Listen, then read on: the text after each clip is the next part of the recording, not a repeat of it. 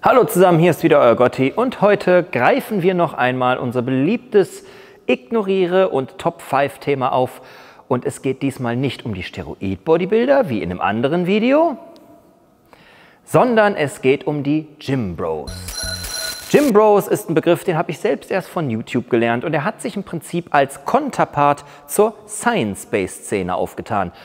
So gesehen ist Jim Bro die Definition von demjenigen, der im Prinzip einfach nur seine Meinung und seine Trainingstipps von sich gibt, obwohl diese nicht unbedingt einen evaluierten Bestand haben in einer wissenschaftlichen Studie oder auch nur davon zeugen, dass er vielleicht besonders viel Erfahrung und Referenzen hat. Gleichwohl das natürlich trotzdem diese ganze Menge impliziert und einberechnet. Das heißt, selbst wenn sich jemand seit 25 Jahren mit dem Sport beschäftigt und dir dann einen Tipp gibt auf der Bankdrückmaschine nebenan, dann gilt das als Jim Bro-Tipp, weil er natürlich keine Studien dazu nennt. Eigentlich sind das die wahren Tipps da draußen, die man auch immer wieder mitbekommt, natürlich in anderen Bereichen. Wenn es also nicht ums Gym geht und ums Training, dann kriegt ihr natürlich Tipps von allen möglichen Menschen.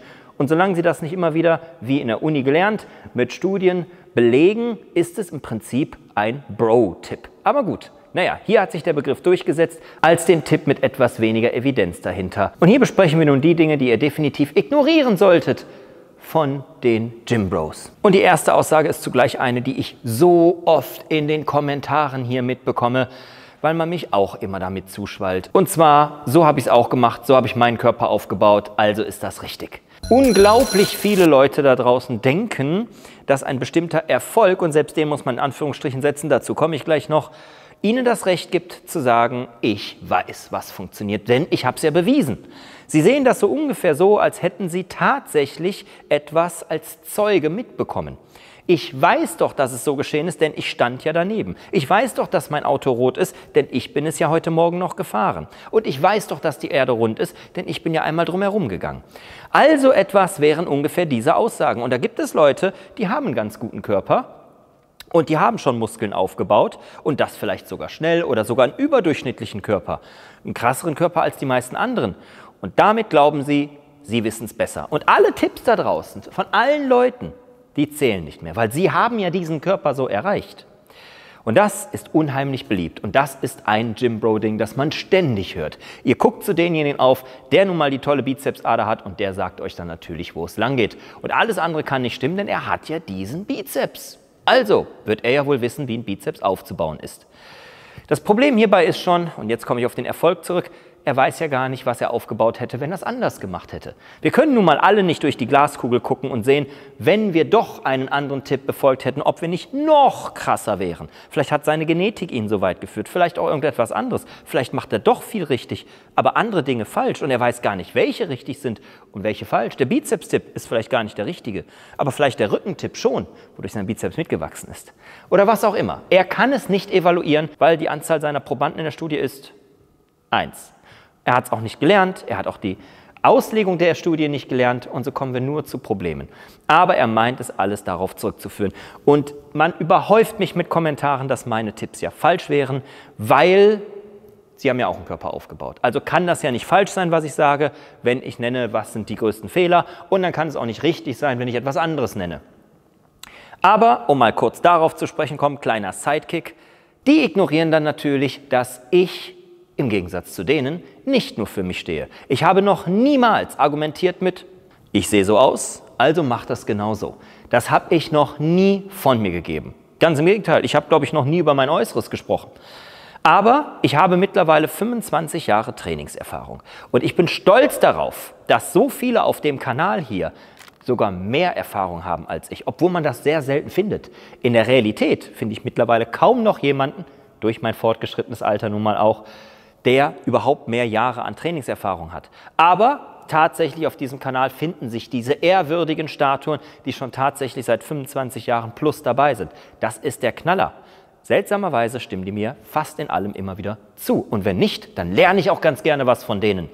Aber, und das ist das Interessante, in den 25 Jahren habe ich nicht nur viel Erfahrung mit mir selbst gesammelt, denn ich habe mich auch nicht einfach nur den Sport hingegeben, was auch viele machen. Also die Jahre sprechen nicht nur dafür, sondern habe das sehr bewusst gemacht. Habe es quasi wirklich zu einer gewissen Wissenschaft und Studium an mir gemacht, weil ich mich mit der Theorie auch versehen habe und versucht habe, echt zu forschen. Aber gut, lassen wir das dahingestellt sein. Zusätzlich war ich Trainer und das beinahe zwei Jahrzehnte ganz aktiv in Fitnessstudios und als Personal Trainer. Das heißt, ich habe nicht Hunderte, sondern ich habe Tausende von Menschen aktiv beobachtet dabei, habe aktiv an denen etwas ausprobiert. Und ist das hier jetzt zum Angeben? Nein, jetzt wird so manch einer schon wieder darunter schreiben, ach toll, und deswegen bist du jetzt besser. Darum geht es ja gar nicht. Es soll euch die Augen öffnen, wenn es um diese Kommentare geht, dass ich eben nicht nur von mir und meinem Körper rede, sondern davon, dass ich das evaluiert habe und das, was ich hier von mir gebe, meine Erfahrung ist. Denn, kleiner Tipp nebenbei, ich verkaufe euch keine Trainingspläne, schon mal gemerkt? Und auch nicht irgendetwas ähnliches. Also, wenn ich das schon nicht verkaufen will, warum präsentiere ich dann mir die Meinung? Und wie bin ich überhaupt zu dieser Meinung gekommen? Nummer zwei, macht das genau so, das machen nämlich alle so oder das machen die meisten so. Auch hier haben wir wieder das Problem, die meisten, die im Fitnessstudio trainieren, das muss ich leider sagen, würde ich nicht unbedingt als Trainingsexperten bezeichnen. Ganz im Gegenteil. Wir haben ein großes Missinformationsproblem und das vor allem, ironischerweise, durch einen Informationsüberschuss. Die Leute wissen einfach nicht mehr, was richtig und was falsch ist, machen irgendetwas und viele erkundigen sich sogar gar nicht. Immer mehr Leute gehen ins Fitnessstudio, auch die, die Leute, die dort hingehen, werden immer jünger. Und das sorgt dafür, dass wir eigentlich nur noch wenige haben, die sich wirklich damit auseinandergesetzt haben und nicht nur einfach schnell Muskeln wollen und wirklich wissen, was sie dort tun und auch wovon sie dann reden. Also geht nicht danach, was die meisten machen. Und wenn euch jemand sagt, das machen die meisten so, deswegen solltest du es auch so machen, hört nicht unbedingt drauf. Und es tut mir wirklich leid, dass ich so oft die Kommentatoren hier mit reinziehen muss. Aber ja, das sind die Gym Bros, die einfach nur etwas dahin kommentieren. Denn immerhin kenne ich auch nicht ihren Hintergrund. Aber es kommt so häufig vor und das sieht man auch viel da draußen. Und zwar den Tipp, hör auf deinen eigenen Körper. Das ist zwar eigentlich nett und da steckt auch immer ein Teil Wahrheit dahinter, so wie auch in den vorangegangenen beiden. Es gibt immer Umstände, unter denen das durchaus ein richtiger Tipp sein kann. Aber ich würde nicht auf Anhieb drauf hören von jemandem, von dem ich nicht unbedingt weiß, wer diese Person ist und welchen Background sie hat. Und bei dem eigenen Körpergefühl ist es genauso. Zu 80, 90 Prozent wird das falsch sein. Denn Habt ihr überhaupt dieses Körpergefühl? Ich verweise ja jetzt im Prinzip auf den Experten vor mir, der mir die Frage gestellt hat. Das heißt, seid ihr unerfahren und wollt etwas wissen und ich sage euch als Unerfahrenen, hört auf euer Körpergefühl, das habt ihr doch gar nicht. Das ist ungefähr so, wie wenn ich einen Matheanfänger sage, als Professor in der Universität, ach du, hör doch einfach auf das, was du meinst, was das richtige Ergebnis ist. Es ist völlig unlogisch, das passt doch gar nicht. Man muss ja erstmal über Jahre dieses Körpergefühl bekommen fürs Bodybuilding. Und ja, damit meine ich Jahre, nicht Monate. Keiner, der seit eineinhalb Jahren trainiert, wird das gleiche Körpergefühl haben. Und manchmal lernt man im 12. und im 17. Jahr noch was über seinen Körper dazu und über Übungen und über die Muskeln und sie anzusteuern und so weiter. Also das eigene Körpergefühl ist keine Referenz und da schließen wir auch so ein bisschen an Punkt 1 an. Was ist mit diesem Körpergefühl?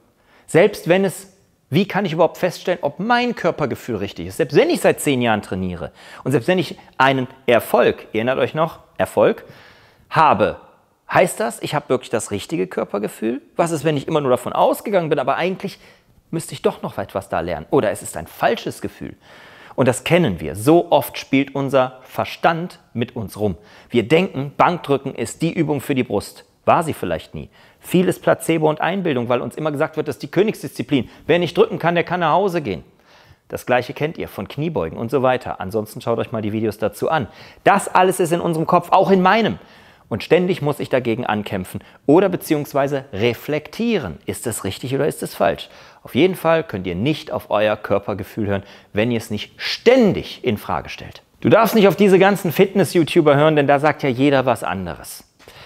Tja, das sagen immer mehr. Und auch da wieder, ja, das hört man selbst in meinen Kommentaren sehr häufig. Es sind meistens sehr frustrierte Kommentare, wo ich teilweise sogar, wenn sie nicht wirklich mehr oder weniger böse an mich adressiert geschrieben sind, Mitleid habe. Denn tatsächlich ist das etwas, was ich durchaus nachvollziehen kann. Dieser Informationsdschungel da draußen und dieser Überfluss macht die Leute kirre. Und sie wollen doch eigentlich nur trainieren, ihre Disziplin abrackern und einen guten Körper haben. Und das ist natürlich furchtbar, wenn man dann in diese Fronten von diesen ganzen Fitness-YouTubern, den selbst erklärten Personal Trainern gerät. Und ja, ich rede jetzt immer so, dabei bin ich auch nur einer von denen für euch. Man kann sich informieren über Referenzen und sonst irgendetwas. Und man kann es vielleicht bei dem einen raushören, bei dem anderen nicht. Aber am Ende bin ich auch nur einer, der sich einreiht bei den Fitness-YouTubern. Also was ist denn jetzt wahr und was ist falsch? Und da habe ich schon sehr viele Worte drüber verloren. Dennoch ist das eine absolut falsche Aussage. Hört nicht auf die Fitness-YouTuber pauschal zu sagen, denn die widersprechen sich alle. Tun sie nämlich gar nicht so sehr. Und das sage ich sogar, obwohl ich meinen Kanal sogar so ein bisschen damit aufgebaut habe, kritisch zu sein mit vielen Aussagen, die da draußen sind. Egal, ob ich einen Namen dabei fallen lasse oder nicht.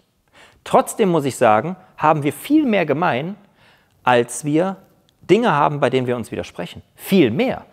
Die Sachen, wo wir uns widersprechen, sind Details, so klein. Und das, wo wir übereinstimmen, ist so ein großer Batzen. Ich habe schon viel dazu aufgezählt.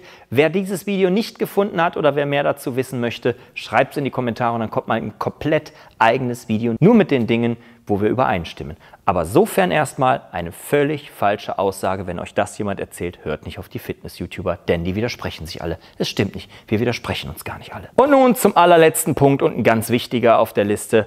Wenn ihr bei irgendeinem Körperteil mal Schwierigkeiten habt, dass er hinterherkommt, ihr habt zum Beispiel einen tollen Rücken, gute Arme, aber eure Brust hängt hinterher. Oder ihr habt einen guten Trizeps, aber der Bizeps hinterher. Egal was es auch immer ist. Aber wenn ihr mit diesem Problem zu einem Gym-Bro kommt und sagt, hey, was soll ich machen? Mein Bizeps wächst nicht so oder meine Brust, dann sagt euch der Gym-Bro meistens, da musst du einfach ein bisschen mehr machen. Selbst wenn du nur einmal die Woche den Muskel trainierst, trainier diesen Muskel zweimal die Woche.